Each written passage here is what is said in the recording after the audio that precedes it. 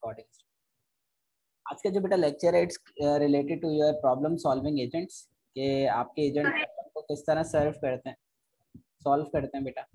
ठीक है तो इनमें हमारे पास जो प्रॉब्लम सॉल्विंग एजेंट में है ये एक उन्होंने डायग्रामेटिक वे में आपको समझाने की कोशिश की है कि that's your environment perceive by agent with the help of a sensors and uh, that agent will perform some functionality on that perce- uh, percept and uh, generated an output or perform an action and this result will goes to the environment. ठीक है ये आपकी जो journal strategy थी agent के हवाले से वो यही थी कि एजेंट जो है वो परसीव करते हैं फ्रॉम एन एनवायरनमेंट और उस परसीव की हुई चीज़ पे कोई ना कोई फ़ंक्शन लगता है ठीक है?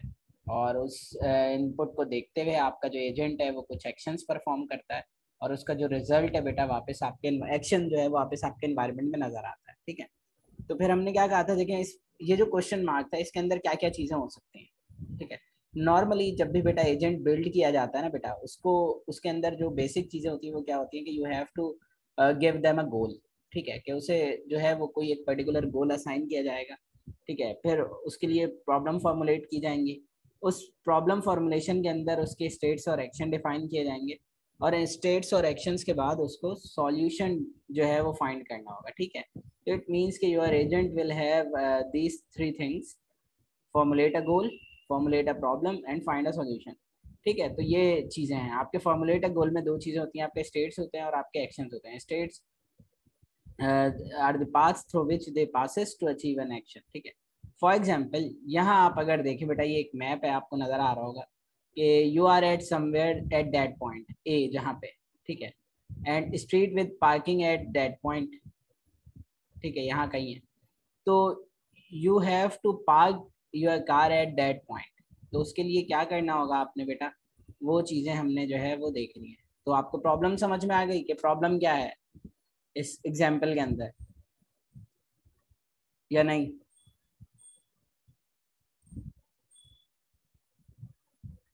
थोड़ा दोबारा रिपीट कीजिएगा। देखें ये एग्ज़ाम्पल है एक जिसमें बेटा एक गाड़ी है एक कार है। उसको आपने स्ट्रीट विद पार्किंग पे पार्क करना है। और आपकी जो सर आपकी आवाज़ बहुत स्लो आ रही है। कितने लोग ऐसे हैं बेटा जिनको मेरी आवाज़ स्लो आ रही है? सर कट रही है थोड़ी थोड़ी। अच्छा जी भाई। आवाज़ कितने लोग हैं जिनको कट कट के आ रही है स्लो आ रही है? है कोई ऐसा स्टूडेंट इन दो बच्चों के अलावा। सर ठीक। यस सर आवाज़ आ रही है कट कट के आपकी। अच्छा अब सही हो गई? जी जी। ठीक है बेटा। देखिए बेटा वी हैव अ प्रॉब्लम जी सर अब बेहतर है। सही है। We have a problem to park our car at a parking street ठीक है?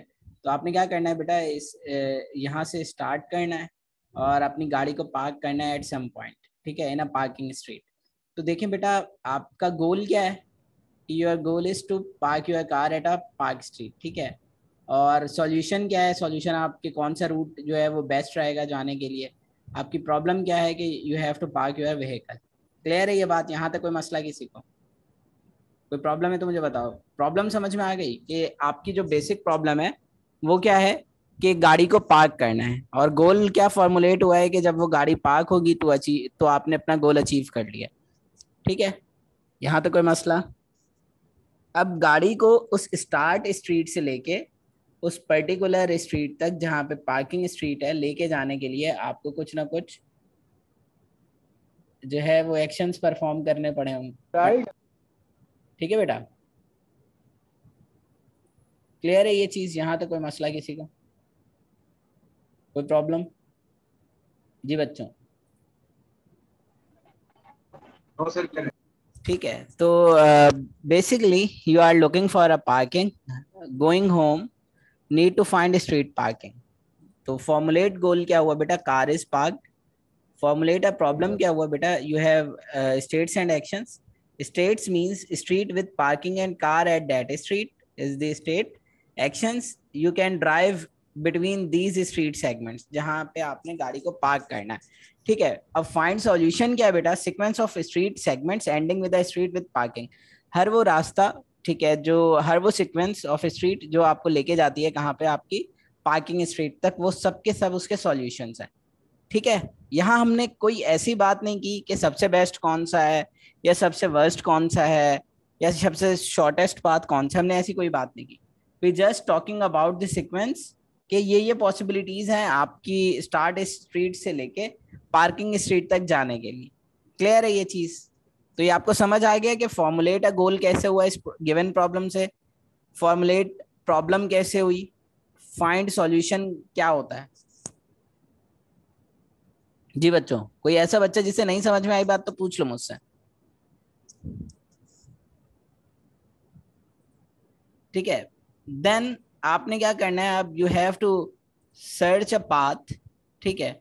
अब वो पाथ सर्च करने के लिए क्या होगा बेटा? Problem solving agent is use a kind of goal based agent देखें, आपने पहले उसे गोल फॉर्मुलेशन की हुई है तो it's means problem solving agent is a kind of goal based agent ठीक है? Which have feature to achieve their goal an agent which has capability to complete their goal is known as goal based agent, ठीक है? It solves problem by अब ये problem को solve कैसे करेगा आपका goal based agent it solve problem by finding sequences of action it means that agent will find sequences of action that lead to the desirable state means के those state which lead them to the goal that sequence is found by the goal based agent और your problem solving agent to solve a problem the first step is goal formulation बेटा it is necessary to have uh, that you have a goal formulation before solving a problem because if you have a goal then you have to try to solve it otherwise it's not possible to solve your problem without any goal ठीक है based on the current situation आपने current situation को देखते हुए बेटा अपनी गोल formulation करनी है और then your agent will start working on it देखिए बेटा आप गोल फॉर्मुलेशन में क्या क्या चीज़ें होती हैं उसको समझना है आपने the things which involve in goal formulation are the goal is formulated as a set of world state in which goal is satisfied कि ऐसी पर्टिकुलर स्टेट ठीक है बेटा, जहाँ गोल का होना पॉसिबल है, ठीक है तो आप कहते हैं in which the goal is satisfied कि ऐसा सेट ऑफ़ वर्ल्ड स्टेट मतलब ऐसी स्ट्रीट्स जहाँ, जिनमें से कोई एक स्ट्रीट ऐसी थी जो पार्किंग स्ट्रीट थी, ठीक है, ये बात की है उन्होंने। अब सेकंड चीज़ क्या reaching from initial state towards goal state कि दूसरी चीज़ क्या होती है गोल फॉर्मुलेशन के अंदर कि आपकी इनिशियल स्टेट से गोल स्टेट तक पहुँचने के लिए कोई ना कोई पाथ कोई ना कोई वे मौजूद हो। लेकिन अब आप अपनी इनिशियल स्टेट से गोल स्टेट तक पहुँचते कैसे हैं बेटा? यू नीड सम एक्शंस तो इसलिए यहाँ लिखा है बेटा एक्शंस आर रिक्वायर्ड अब जब actions are required it means कि एक्शंस क्या होते हैं? तो हम ये कहते हैं बेटा in goal formulation actions are the operators which cause transition between world state एक वर्ल्ड स्टेट से दूसरी वर्ल्ड स्टेट में जाने के लिए जो ट्रांजिशन परफॉर्म की जाती हैं या जो आपको हेल्प करते हैं ट्रांजिशन परफॉर्म करने में, वो ऑपरेटर्स आपके एक्शंस कहलाते हैं। Action should be abstract enough at a certain degree instead of very detailed तो एक्शंस का एब्स्ट्रैक्ट इनफ होना ज़रूरी है। मीन्स के they will directly told you that in what direction you have to move जैसे turn left versus turn left thirty degree तो ये आपका एक्शन है.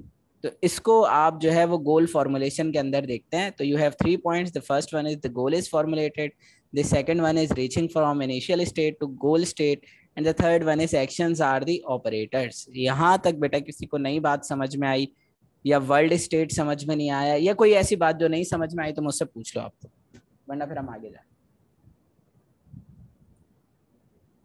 जी बच्चों।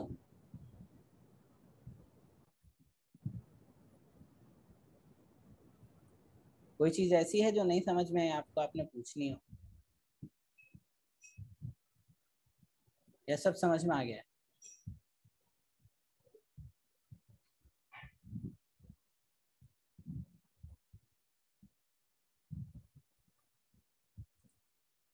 हफीज?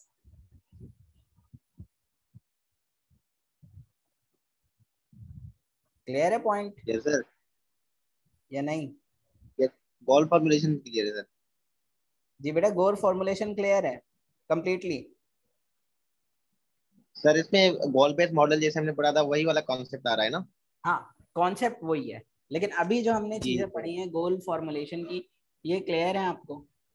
ये एजेंट तो वैसे ही है बेटा कि it has to achieve a goal at any cost वो हाँ तो मतलब जो गोल। सेट करते हैं वो सेटिस्फाई हो जाता है हमारा। फॉर्मुलेशन हमारी तो लेकिन अभी ये जो पढ़ा है ये आपको समझ में आया है? सर अभी तक तो समझ में आया है। ठीक है चलो अभी फिर फिर किसी से पूछ लेते हैं। अरीब गुल।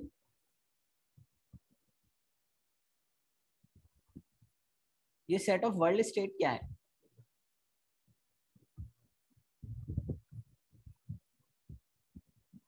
जी अरीब गुल। नहीं बोल रहे अरीशा खान?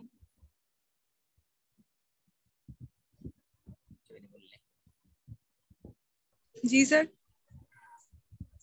ये जो सवाल पूछे मैंने कि सेट ऑफ़ वर्ल्ड स्टेट क्या होता है बेटा?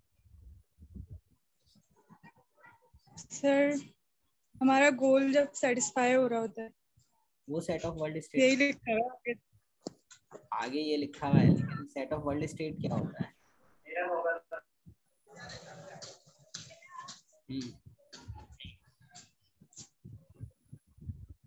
सर आई थिंक मैंने मिस कर दिया जो आप बता रहे थे ना। अच्छा आपने मिस किया।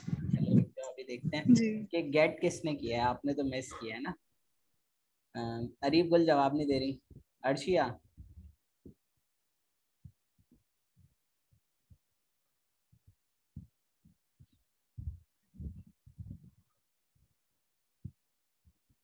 अर्शिया भी आई थिंक जवाब नहीं दे रही। भोसड़ी का इंटरेक्टिव क्लास हो तो मज़ा भी आता है। है?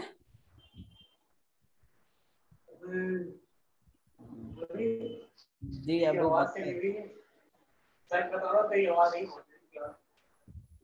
अबू बकर। अबू बकर भी नहीं है। मतलब क्लास ले कौन रहा है पहले? हबीब खान? जी सर हाँ भाई क्या होता है ये set of world state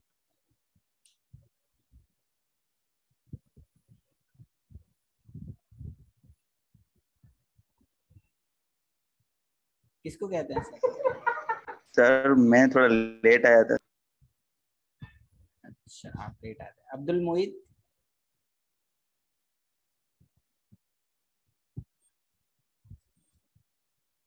Abdul Mohit section A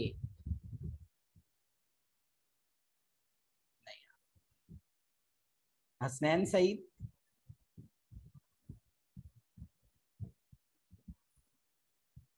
Mohammad Salman. Mohammad Danial. Sir सारे एब्सेंट है सर मैं ये अभी एक मिनट- सिर्फ़ मुझे एक मिनट दो अभी इनका मैं यस सर हसनैन सर हाँ अभी देखना थोड़ी देर बाद सब बोलेंगे। जी हसनैन बेटा ये बताएँ भाई सेट ऑफ़ वर्ल्ड स्टेट क्या होता है? सेट ऑफ़ वर्ल्ड स्टेट जी।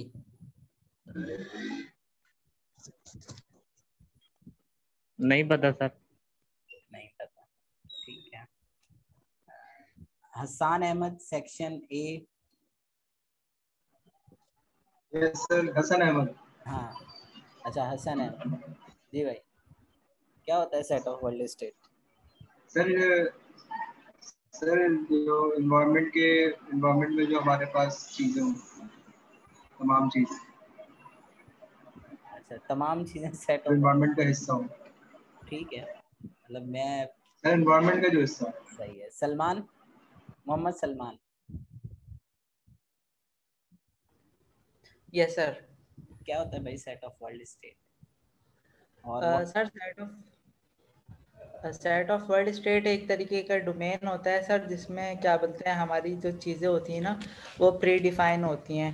जैसे कि हमें क्या बोलते हैं किसी एक चीज़ से टास्क परफॉर्म करवानी होती है तो हम उसको एक पूरा थ्रू वे आउट बताते हैं कि आप इधर से उधर जाओगे तो ये आपका एक स्टेट होगा।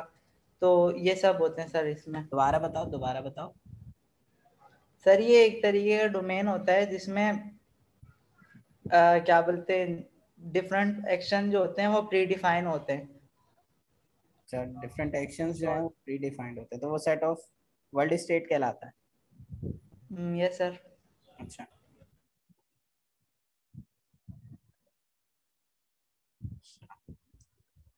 मुबीन अहमद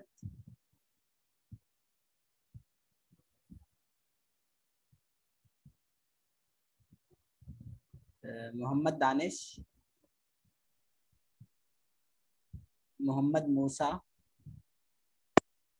सर मोहम्मद दाने दानिश साहब set of sir, words sir environment होता है सर जा जिससे मतलब इन्वायरमेंट होता है जो हमारे पास चीज़ें होती है जिसका सोल्यूशन निकाल अच्छा। अच्छा रमशा? नसीर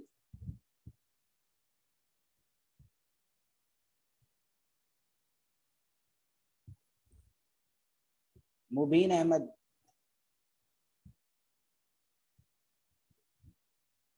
जी मुबीन